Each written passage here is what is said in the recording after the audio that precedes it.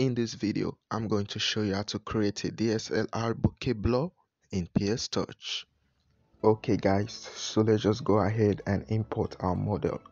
So just click right here, click on photo library and here we have it. So click on our model image and click add.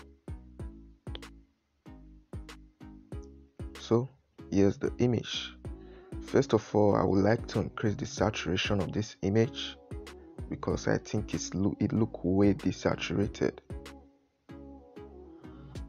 Now it does look better, so click OK. Alright, now let us get started with the effect. But first, one thing we want to do, we want to separate her from the background. So to do that, click on your toolbar. You can use different variety of tools, but I would love to use the quick selection tool on this one so this is how it works just click and drag on the background like so.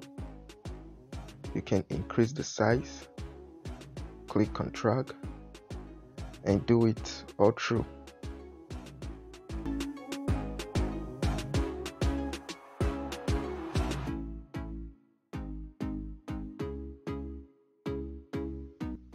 Okay we have done selecting the background but if you take a look there are some part of file which got selected.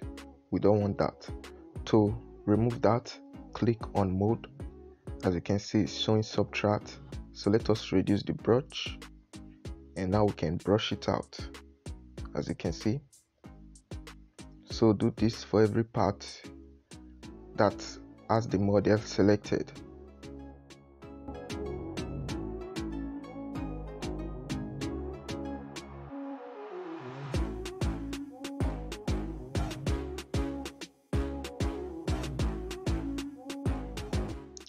okay we are pretty much done with the selection but if you take a look at the hair it's not that neat. So let us refine the edge. So to do that click right here on this icon click on refine edge. So what you want to do just click once on the hair and as you can see it neatens everything up. So now let's go ahead and hit ok done okay so now what you want to do is to click right here invert the selection. Now it feels as if it's the model that is selected which is exactly what we want. And click right here. Click on this icon. Click layer from selection. Done. As you can see we now have the model in our own layer. So turn this back on. Click right here deselect so what we want to do we want to remove the model from the background. So we already have the model in our own layer so we want to remove the model from here. So to do that click right on this icon scroll to the top. You will see this clone stamp tool pick up the brush make sure the size is 100% and the hardness is 0% so now click once at the background like this and brush it in like so.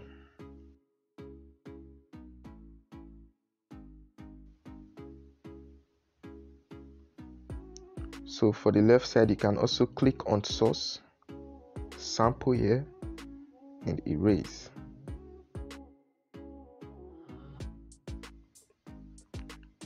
Click on source again okay you can stop at this point that's fine. So now you can turn on the model layer back on. So one thing i really want to do is to replace that sky. It looks way too blown out. The best way to do that just click right here. Click on this icon photo layer photo library and pick up the sky. Done so just position it right at the top. Think i'm going to flip it. Yeah. Think somewhere like this would do. Click on done. So now click right here. Click on fade. Pick any of these fade.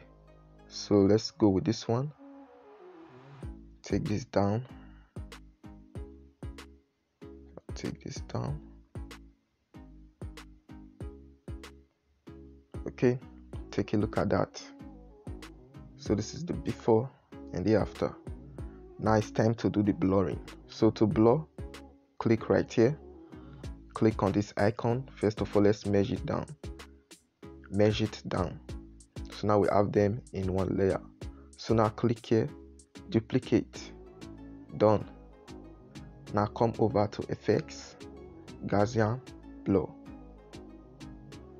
so increase the blur to your preference. Okay. I think here will do. Click on done. Then click right here again. Click on fade. So I'll take it to the bottom. Okay. Done. Now let's apply the bokeh. So click right here. Click here.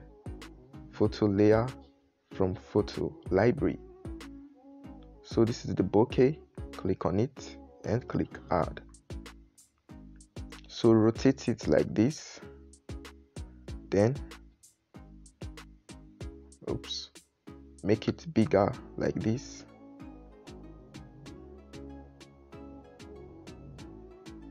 okay I think here will do.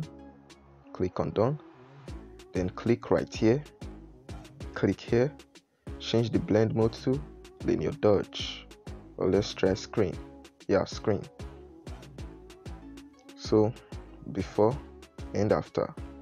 And that is how you create a bokeh effect in PS Touch. Thank you very much for watching and I'll see you in my next video. Bye bye.